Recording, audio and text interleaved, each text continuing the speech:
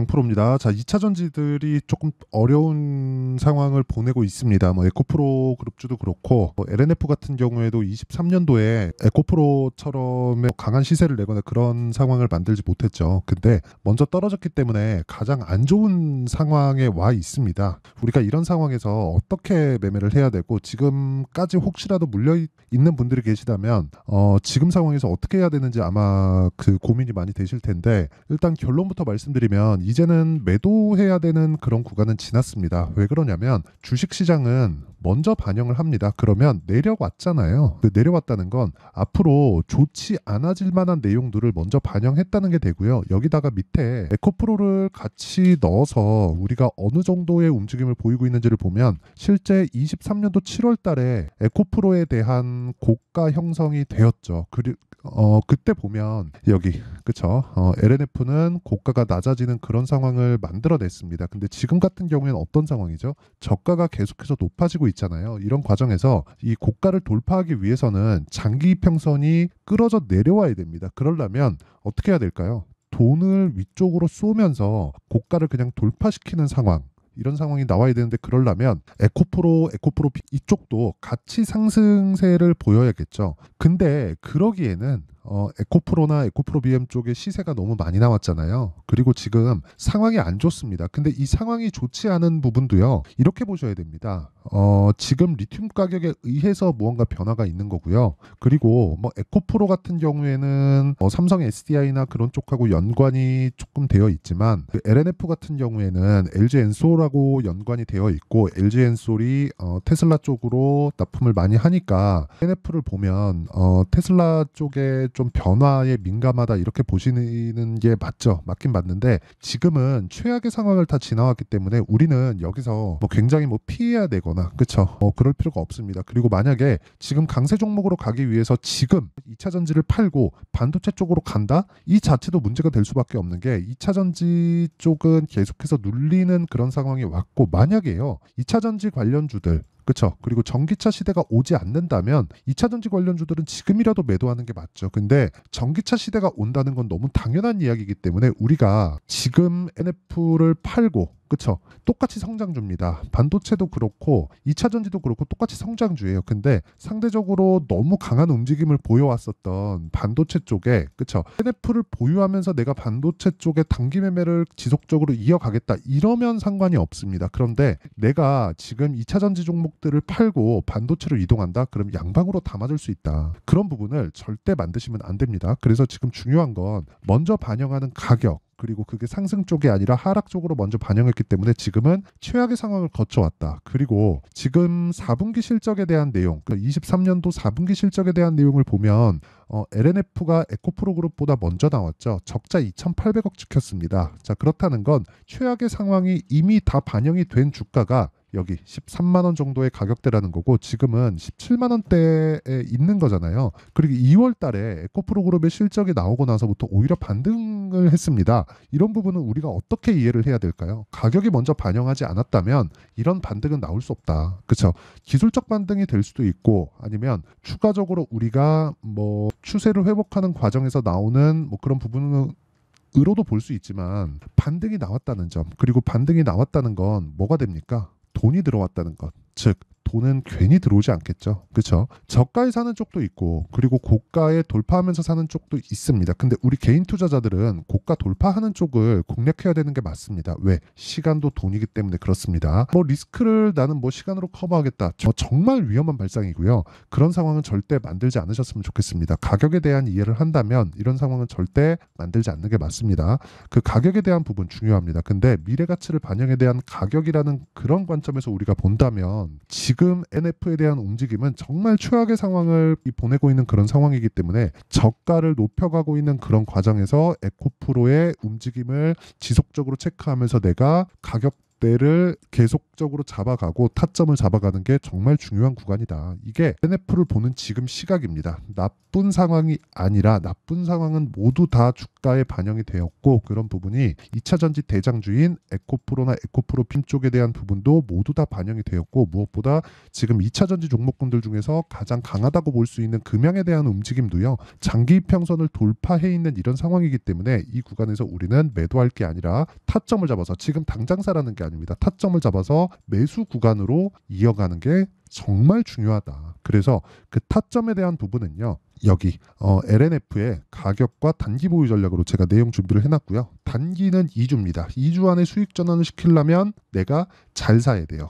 가격을 그쵸? 그래서 이 내용을 어, 구독과 좋아요 어, 이거 다 제가 그 채널 성장을 위해서 하는 거니까 구독과 좋아요 부탁드리고요. 상단에 있는 전화번호로 LNF 자, LNF라고 문자 보내주시면 제가 LNF에 대한 가격과 단기 보유 전략 그리고 실제 어, 실시간 타점을 제가 문자 보내주시는 번호로요. 다 따로 공유를 해드리도록 하겠습니다. 자 그러면 이런 가격적인 부분에 대해서 이해를 했을 때 어느 정도의 매매가 가능한지 그 내용부터 보겠습니다. 자 내용 한번 보시면 지금 1월 1일부터 24년도죠. 4월 11일까지 제 계좌 수익률입니다. 실제 70% 정도의 어, 계좌 수익률을 만들어내고 있고요. 3개월 정도 걸렸죠. 종목 수익하고는 차원이 다릅니다. 그리고 이런 부분에 대한 내용은 앞서서 말씀드렸죠. 제가 가격적인 부분을 이해했을 때 가격을 공략했을 때 내가 꾸준하게 수익을 낼 수 있는 환경을 만들어 놨기 때문이다. 그리고 이건 종목 수익이 아니라 계좌 수익이기 때문에 손실난 부분이 다 포함되어 있습니다. 이것보다 투명하게 계좌를 인증할 수 있는 방법은 없습니다. 자, 그러면 이 내용을 토대로 우리가 어떤 종목을 매매했을 때 이 정도 성과가 나오는지 그 부분을 보셔야 되는데 자, 내용 보세요. 하나마이크론을 제가 오늘 매매를 했습니다. 자, 어떻습니까? 돌파 구간에서만 공략을 한다. 팔았어도 다시 산다. 이런 부분을 어디서 만들어요? 신고가 돌파 구간. 왜? 가격이 먼저 반영하니까. 가격이 먼저 올라가니까. 올라간다는 건 뭐예요? 앞으로 호재거리가 있다는 거니까. 아까 전에 제가 NF나 에코프로나 이런 쪽 2차 전지 관련된 종목군들 중에서 이야기를 했을 때 뭐라 그랬나요? 안 좋은 부분을 먼저 반영했다 그랬죠. 이건 뒤집어져 있는 거죠. 이런 상황입니다. 그리고 이런 부분에 대한 내용을 제가 여기 소통방에서 10억 만들기 프로젝트로 모두 어, 다 공유를 하고 있습니다. 자, 실제 내용을 보면 매수 8시 52분, 8시 52분, 8시 52분. 그렇죠? 다장 시작 전에 다 공유가 됩니다. 왜 이런 부분이 가능할까요? 주식시장은 미래 가치를 반영하고 가격이 먼저 뜨기 때문에 돌파한 종목만을 따로 추려 놓습니다. 그래서 아침에 호가만 체크하면서 따라락 나갈 수 있는 거죠. 그렇죠? 그리고 이런 부분을 소통방에서 무료로 공유하고 있고 소통방에서 진행했었던 종목들을 보면 뭐 자람 테크놀로지나 그런 종목들입니다. 자 내용 보세요. 돌파 구간에 공략했죠. 75% 수익 이런 부분이 다 녹아들면서 아까 전에 계좌 수익을 이건 종목 수익이고 아까 전에 보여드렸던 건 계좌 수익입니다. 계좌 수익을 달성할 수 있었던 거고 뭐 다른 종목을 보더라도 마찬가지입니다. 뭐 그런 종목들 보면 오늘도 13% 상승하지만 일단 저는 지난주에 매도를 했습니다. 근데 26% 수익으로 끝냈고 3월 달에도 18% 22%의 큰 수익을 내고 나왔습니다. 이런 부분에 대한 내용을 지속적으로 만들려면 가격에 대한 이해를 반드시 하셔야 되고요. 그런 부분을 제가 소통방에서 공유하고 있으니까 매매하는 과정에서 내가 너무 어렵다 하시는 분들은요. 소통방으로 들어오시면 됩니다. 자, 그래서 구독과 좋아요 두 개 꼭 눌러주시고요. 상단에 있는 전화번호로 소통 자, 소통이라고 문자 보내주시면 제가 소통방 입장 링크를 순차적으로 공유를 해드리도록 하겠습니다. 자, 그러면 어, 내용 정리 한번 할게요. 주식 시장은 미래 가치를 반영한다. 미래 가치를 반영하는 과정에서 가격이 먼저 뜨기 때문에 우리는 올라가는 구간에서 매매를 해야 되고 올라가는 종목군을 내가 매매를 한다는 건 앞으로 좋을 부분이 있는 종목군들만 추려서 매매를 하는 즉 압축적인 내용이라는 거죠. 이런 부분을 내가 소통방에서 공유하고 있고 소통방은 구독과 좋아요 이거 눌러주시면 입장 가능합니다. 근데 상단에 있는 전화번호로 제가 어디다가 보내는지 알아야 되니까 그쵸? 상단에 있는 번호로 소통이라고 문자 보내주시면 되고요. 어, LNF라고 문자 보내주시면 제가 LNF만의 타점을 문자로 공유를 해드리도록 하겠습니다. 자 그러면 이런 종목을 왜 해야 된다고요? 미래 가치를 먼저 반영하니까 즉 강한 종목을 하는 이유입니다. 자 그러면 이런 종목군들을 지금 상황에 대입하면 지금 강한 신고가 구간에 있는 종목군들이 뭐라는 겁니까? 4월달, 5월달에 주도주가 된다. 자 그러면 그런 종목군들을 어떻게 분류하고 어떻게 판단해서 어떻게 매매할지를 제가 다 이해를 시켜드리도록 할 테니까 영상 끝까지 시청하시고요. 모든 분들이 성공 투자하셨으면 참 좋겠습니다. 자, 24년도가 돼서도 시장은 여전히 어렵습니다. 자, 근데 시장은 항상 어려울 거예요. 앞으로도 계속해서 어려워질 겁니다. 자, 근데 제가 매월 어, 대시세 종목을 구독자분들에게 공개를 합니다. 자, 내용을 보면 12월 달에 실제 공개를 했었던 강프로의 대시세 종목에 대한 내용인데 어, 대기업을 상대로 안정적인 매출 구조를 가지고 있고요. 그리고 현재 주요 거래처는 삼성전자, 인텔, 하이닉스, TSMC 해외에 반도체 관련된 기업이라는 걸 알 수 있죠. 그만큼 1월 달에 제가 보고 있었던 종목은 반도체 관련주라는 걸 알 수 있습니다. 공개를 해드리면 이 내용입니다. 여기 어보브 반도체 그쵸 실제 제가 거래한 내용을 공개를 한 거고요. 어, 수익에 대한 크기를 보면 공략한 시점 제가 가격대를 함께 공개를 해드렸는데 공략한 시점부터 21%의 수익 마감이 된 것을 확인해 볼 수가 있습니다. 자, 근데 지금도 마찬가지입니다. 지금은 어떤 이슈가 있을까요? 2월 달에 발표한다는 기업 밸류어 프로그램이 있죠. 근데 그걸로 인해서 지금 2월 달에 발표한다고 이야기가 나온 상황이고요. 무엇보다 우리가 생각해야 될 내용은 한 가지입니다. 어떤 이슈나 그리고 어떤 뭐 상승할 수 있는 내용으로 인해서 주가가 올라가는 것은 맞죠. 하지만 가격이 먼저 반영한다는 걸 반드시 알고 있어야 되고 그런 내용에 대한 파악이 되었을 때 그쵸 여기 어부부 반도체처럼 21% 그쵸 대략 3에서 4일 동안 20% 이상의 수익을 먹을 수 있고요. 그리고 여기 HLB 같은 종목처럼 대략 일주일이 채 되지 않는 기간 동안 30%의 수익을 낼 수 있습니다. 자, 그러면 답은 나왔어요. 재료에 대한 부분보다 중요한 게 가격이다. 자, 근데 지금 시장에 쏠려 있는 게 뭐죠? 2월 달에 발표하는 기업 밸류업 프로그램에 대한 내용이죠. 자, 그러면 우리가 이쪽에다가 지금 집중을 해야 될까요? 그 내용을 한번 보겠습니다. 기아차의 차트를 보면요. 1월 24일 날 정부단에서 입김을 불어넣은 이후에 시세가 강하게 발생한 것처럼 보이지만 애초에 12월 달부터 신고가를 달성했다는 걸 확인할 수 있습니다. 자, 그러면 우리가 스케줄을 따져봤을 때 우리가 어디를 봐야 될까요? 4월 달 총선을 봐야 됩니다. 드디어 때가 온 거죠. 4월 달 총선이 끝나면 그 뒤엔 뭐가 있죠?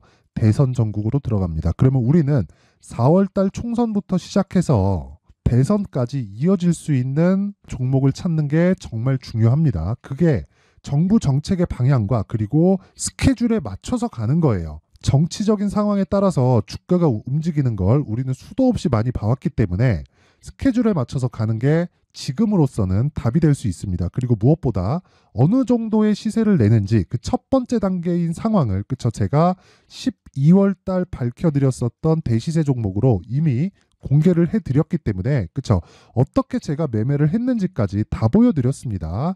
HLB처럼 그쵸 31.9% 걸린 시간은 4일밖에 되지 않죠. 이 종목을 제가 가격과 그리고 어떤 종목인지를 애초에 12월 달부터 공개를 한 겁니다. 자, 그러면 지금도 마찬가지예요.